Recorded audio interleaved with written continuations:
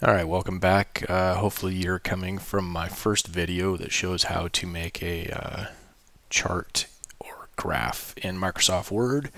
Uh, if not, please go watch that one first because we're going to go a little quicker in this one. And so a lot of the techniques I showed how to do, I'm just going to click through them on this one instead of explaining it step by step. So anyway, uh, now we're going to create a graph for doing a number line problem in Microsoft Word. Once again, this is 2007 uh, 2010, as we saw in the last video, is a little different, and I haven't tried this at all in 2003. All right, so first thing we're going to do, uh, we got a blank page again. Uh, we're going to go to Insert, Chart, XY, XY scatter chart. Make sure it's selected and clicking OK. Once again, Excel opens up. Uh, for this one, we're going to go ahead and delete all these values, and then we're not going to have to worry about adding them back in ever. And so we're just going to tab through, deleting all of the values are gone, charts blank. Okay, so now I'm going to layout. First thing I'm going to do is click on my uh, vertical grid lines or the horizontal lines and I'm going to click delete. Okay, I'm also going to delete the Y values that are here and then I clicked on the vertical axis and now all I have is the horizontal axis. I can drag this down to make it a little bit smaller and now all we have left is our horizontal axis. Okay, once again learning from the last video we can go up to axis, primary or horizontal axis and click on this. Once again depending on how big of a number line you need you may need more than six but uh, most of the time negative six 2, positive 6 will cover anything in a word or in a math problem. Once again, major unit, we want to make sure that's set to 1.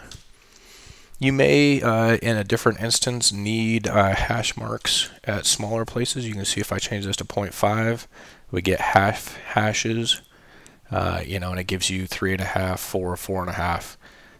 Uh, for most everything that I've done so far in math, we only need the major marks. And so 1, 2, 3, 4, 5, 6. Okay. Once again, we're going to check a cross for the major tick mark type.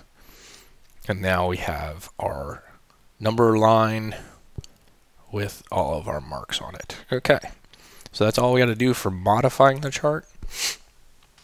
Now we're going to go ahead and add a number line on there. Okay, so we go to Shapes, create a line.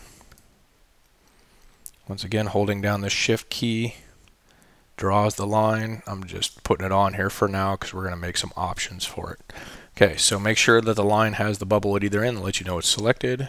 Picture border. We're going to go to weight. We're going to make this a little bigger so it stands out against the chart line in the background. And so I generally do three point. Okay, and it's already blue, and so that kind of works for most problems that we want to do. So let's say the problem requires us to go from negative th or 3 Wow, that was good. All right, let's say, once again, clicking on the end, holding down shift. Let's say we have to go from three. And I don't know why that's not working right. Let's try this again.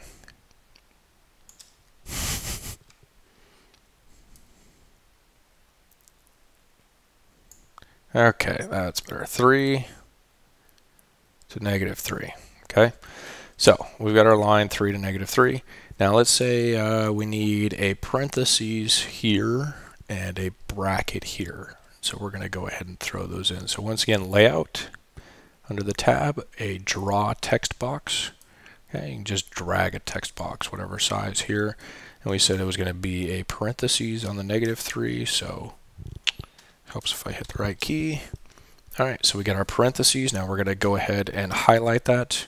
You can either just click inside here and highlight, or I do the shift and left and right arrows does the same thing. Okay, and then uh, we can just do that with the text options right here. And so I'm going to make it about 20 point. Uh, that seems to work pretty good. And then this uh, A with the red line underneath it is your font color. Okay, uh, the object is to get it as close to the color of the line. It's actually this one right here is the default line color that I've got. Okay, and then uh, now I've got a parentheses about the same size in relation to the line. I can drag it. Sometimes this can be a pain. Most of the time I get it the first try. yeah, we'll call that good enough for right now. All right, and then uh, I need to do one more. So layout, draw a text box. Just go ahead and draw it down here. And we wanted this one to be a bracket, and so shift 20 point. And uh, as soon as I click on this, it'll automatically change it to that color. Okay, and then I just drag it to where I want it. And let's move that down a little bit.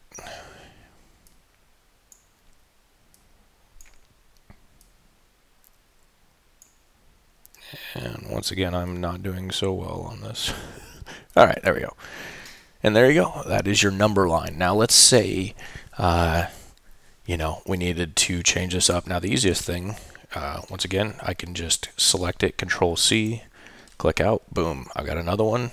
Number lines are, the lines already there, but let's say this side needs to go all the way off the chart. And so we're going to have an arrow at the end. So first thing we're going to do, layout, insert a shape, and down under block arrows, we have these arrows here. Okay. Now when you see when I start drawing it, okay, it gets kind of a funny size. And so, uh, it's kind of close, but the problem with it is, is it's got an outline. So we're going to get rid of the outline, and now it looks a little better. It's got the arrow on the end. Click on this, and drag it to there. Click outside. And if you're a perfectionist like me, you can mess around with it until it's perfectly lined up. And that gives the impression. Clicking outside, you got your arrow going off the end of the chart, your bracket, uh, what I do generally is create a chart uh, either on a blank Word document or whatever that's got everything already in it. Okay, so I've already got my parentheses for the left side. Okay, so I would just create, because each time you have to, to do this over, and so draw a text box. Helps if I click it right. Okay, and bracket shift. Uh, 20 change the color of it. It doesn't matter where it's at. It doesn't have to be lined up with anything. Okay I've already got my bracket for this side so let's create my parentheses for this side.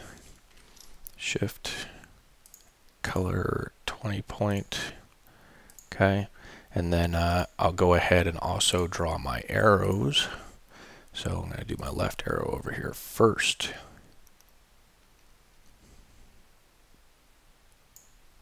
And get rid of the border, no outline. It's already the correct color. I'll move it. Okay, and then one more arrow.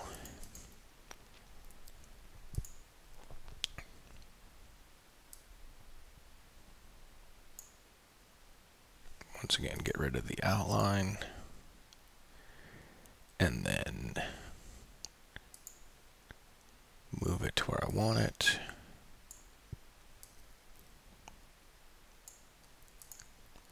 All right, and now I also have everything I need in one uh, graph, and so that way I can just copy this one, paste, and okay, this one I'm not going to need the bracket or the arrow, so I'll get rid of both of those. This side, I don't want either the bracket or the arrow. So I get or the parentheses. So I get rid of those, and then you know move my parentheses to wherever it needs to be. Let's say it's negative four, and then I just drag my line to where it needs to go. And you see how long that took compared to drawing it out. Boom. Next problem and do it over again. You can see how quick this can actually go. Uh, you can play around with it to make it a little prettier. I was doing this on the fly recording and so uh, it's a little more difficult than uh, taking your time but once I get the first chart set up I have these saved all in Word documents and so every time I come across a problem that needs these I just open up that Word document copy it into my assignment that I'm working on and start modifying it as needed. Paste paste paste over and over. Same with the graphs from the last one. And once again, if you have any questions, please let me know and I'll be sure to help out.